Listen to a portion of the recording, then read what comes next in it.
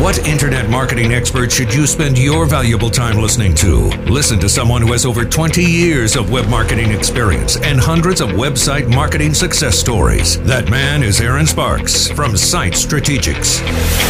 And this is Edge of the Web Radio. All righty. Uh, Neil Patel.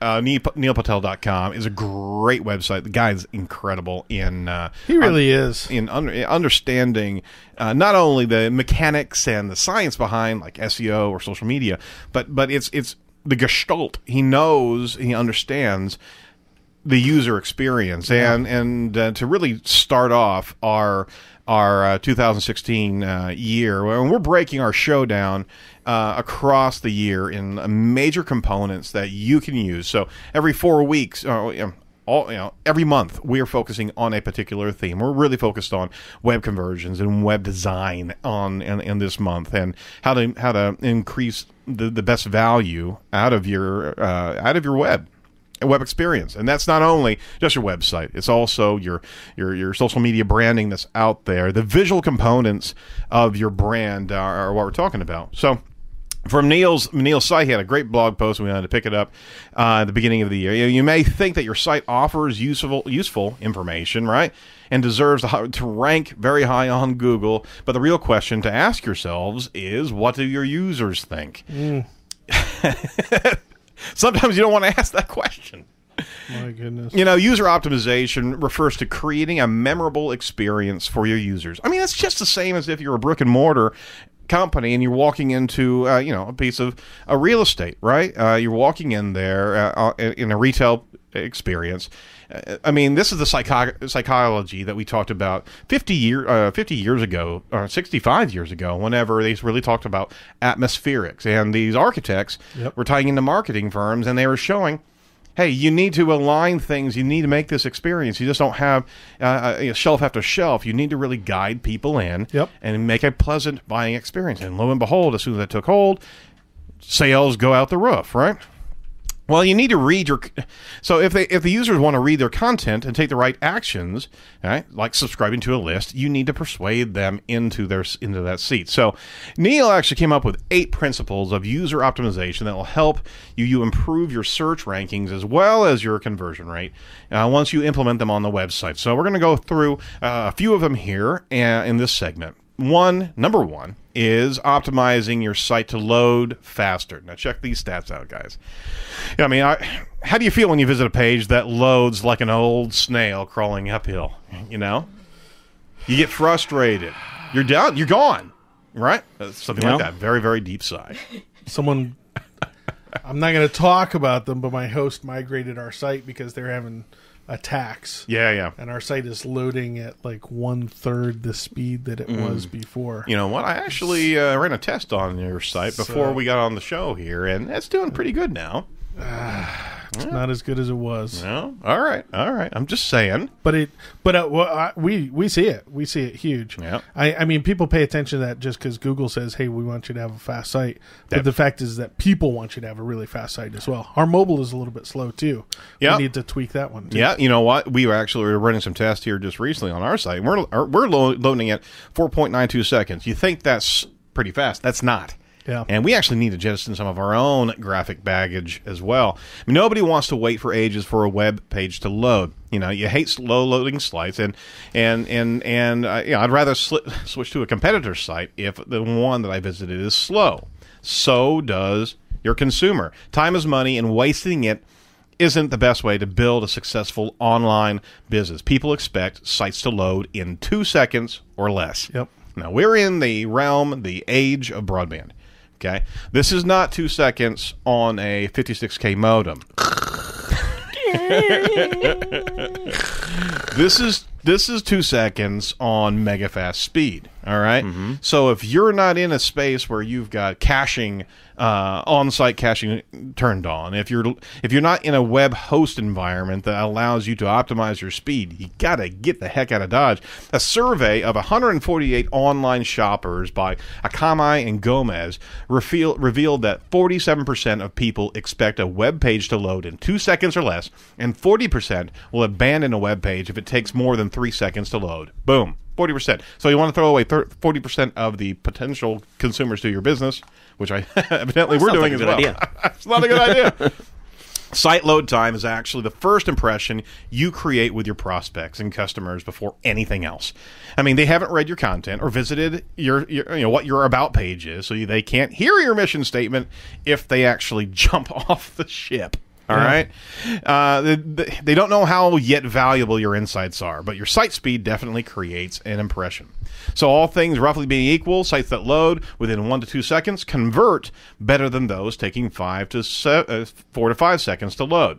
Tagman actually conducted a test in partnership with Glasses e-tailer Glasses Direct to study a site site speed and conversion behavior. The test measured the impact of average page load time on the user's likelihood to convert to a, uh, on a, on a website. Not surprisingly, it found a huge correlation. At about two seconds, the conversion rate increased, dropping by six and six point seven percent for each additional second. Okay, you, you Wow. start combining that, you know, and you're in a space. And uh, we'll throw a graphic on the on the on the video here, but we have got some conversion rate analysis from Neil's uh, uh, Neil's site, and the conversion rate is literally like a, like a hockey stick. Under if if you're past two two seconds, you're dropping down in, into into the realms of of less than a percentage conversion rate. It's crazy. So, I mean, the consequences of a one second delay are huge. And if your site loads faster, you'll see a dramatic improvement in the user engagement, period. All right. Um, the, the, the, the consequences of a one second delay uh, from the study that they were referencing, uh, 11% uh, drop in fewer page views if you have a for each every one second delay, 16% in decreased in in decreased customer satisfaction and 7% in lost conversions. All right. So Google also hates slow sites. When Google ranks slow sites above faster sites, it knows people will begin switching to other search engines. So, optimizing users for users means that you put them first when designing your website. You know, Google Google rewards sites that actually perform well. If you want people to visit your site, refer to you know, you know, re- refer to other people and purchase your products. You should optimize your page elements to load within two seconds. All right. Have I stressed that enough? I think so. So like five seconds. no, actually, two seconds. Oh. Yep, two seconds. Okay. Um, so, some quick steps. To, yeah, you may be asking, how do I know how fast my page loads? Go ahead. Hey, um. So if to get it under five seconds, Yeah. what do I do? To, Two seconds. Oh, to two, Two seconds. How to seconds. get under two seconds? All right, first step is go to nice. Appreciate that. go to whichloadsfaster.com. All right, whichloadsfaster.com. It's a simple tool. It actually has an accuracy of, of 100 milliseconds. Go to there. Uh, they got a pop up thing that you just go through. Um, second step is input your site on the left search box and your competitor's site on the right search box. I actually did that for your for DK New Media, Doug. Did you? Yep. And you hit Ooh, go. did Yep. you compare us versus them? I did.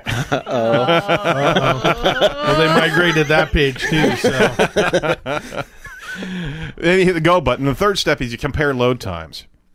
Doug, wa- DK was six times faster than our site, guys. wow. We got some work to do then. I I'm guess. thinking so. I'm feeling better now. Or I, I- I didn't say marketing tech blog. first. I didn't say marketing tech blog. Okay, so we'll just keep that in mind. Uh, second point is leverage. The con- y- y- here's another point on on you, uh, improving the user experience. Uh, oh, there's another place uh, from the from the speed of the site. Go to pingdom.com, p i g d o Love m that. dot com. They got a they, they got a web test tool free of charge. So is that uh, so the oth- so is the other website. Webmaster still has their Yep. waterfall one too Yep. as well. They have Yep. page insights or page speed Yeah. insights or The, something. the through only thing that I see with those is you gotta if you if you're good, right? I mean, Yep. and you guys do this too. Is Yep.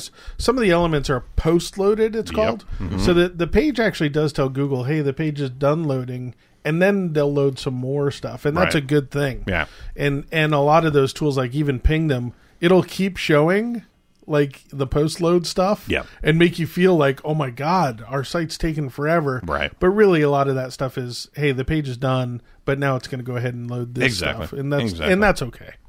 Um, you know what? What we're going to do here is uh, we're going to cover um, our content model here uh, here in a second. There's a number of things I want to go over regarding conversion rates and content, but uh, first we're going to step off. Hey, we're covering the remainder of our user optimization points here. Uh, time to write them down and make sure that you're hitting all eight cylinders that we're talking about today on the edge. Welcome back.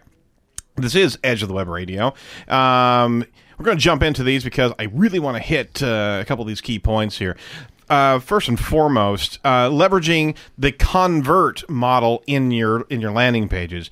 Um, data from Steelhouse shows that conversion rates typically range from one to three percent. Okay, that means that ninety-seven percent of your site's visitors aren't sufficiently interested in what you're offering. At least not yet. More than likely, your landing page attracts visitors and prospects from different channels, and consequently, optimizing for those channels is important because the conversion rate by channels will actually differ. Okay, so according to Bryan Eisenberg, if you haven't read uh, his books, it's there. He's a fantastic. He's, he's the he's the grandpa of, of persuasive marketing. He says most websites don't have a traffic problem. However, every pro- every website has a conversion problem. Oh, I love that. That's a beautiful statement. I mean, the conversion rate is, is very simple to, to calculate. The total conversions are the number of people that did whatever you wanted, that whatever you defined as a as a conversion conversion. So, email, newsletter, made a purchase, or whatever. Okay, to get your conversion rate, you simply divide the, the that that total number of conversions by the number of visitors to your website. So, so for example, the site with 5,000 visitors and there's 50 conversions has a conversion rate of 1%. All right? Mm-hmm. There's that. So you got to know what your conversion rate is. Now, a visitor snapshot tells us that the bulk of our visitors are casual. So they got different steps in the process of awareness and understanding, right? And I'm not going to do this particular concept that much justice, but I do want to go through the customer buying process. There's a problem recognition level, right? There's an information search level. There's a evaluation of alternatives level. There's a purchase decision level. There's a purchase and there's a post purchase evaluation. Okay. Those are the different steps along this customer journey. Now, it's not a linear thing either. They can go back and forth between these different areas, especially if they don't have their education right. But your content can actually connect to each and every one of those different levels, and they should because your your your audience is going to be in the I mean nobody's at the same awareness level level at the same time. You need to have different content that can be easily attained. Don't hide this stuff based on the different buying personas and the, and the, the level of awareness that they're at. And I'm, I'm a preacher of this in the office on a regular basis is making sure that we're writing to the different buy awareness levels uh, for our cust- for our clients' customers, right? So there's a number of different spaces along that, from information search and evaluation of alternatives and purchase decisions. Deep dive into this concept because this is user optimization whenever you're dealing with your own website and your your marketing materials mm-hmm. is if you're not writing to and we've talked about this in in in, in so many times Doug is is is getting he's literally turning away from me as I'm talking to him. We don't have a snooze button or a sneeze button. I know it. I know. I got a mute button. I'll mute. Yeah. Um, button. But but making sure that your content's aligned with the different steps along a journey is one of the best things that you can do to connect to where your user is. Now, another point here, real quick, is creating a memorable content experience. All right, content marketing drives user engagement. And if you're looking to engage users, focus on the content and the design of that content as well. You know, it's not enough just to write. You got to make it attractive you know, uh, according to a demand gen report, 67% of B2B buyers rely more on content to do to research and make B2B purchasing, purchasing decisions rather than they did a year ago. 60%, 67% more. Uh, not all content is created equal, and, and some content drives traffic, while other content is designed to generate leads. So, spending enough time on your blog posts, the same as you should be actually focusing on static landing page copy, which will help infuse your content with conversion triggers, right? Right. I mean, the point is, is that um, people scan. They don't read immediately. They scan visually on, on a site, and the the, ha- the average human attention span is eight seconds. It was eight seconds in 2013, one second less than that of a goldfish, by the way. You know what? You know what I'll say to that though.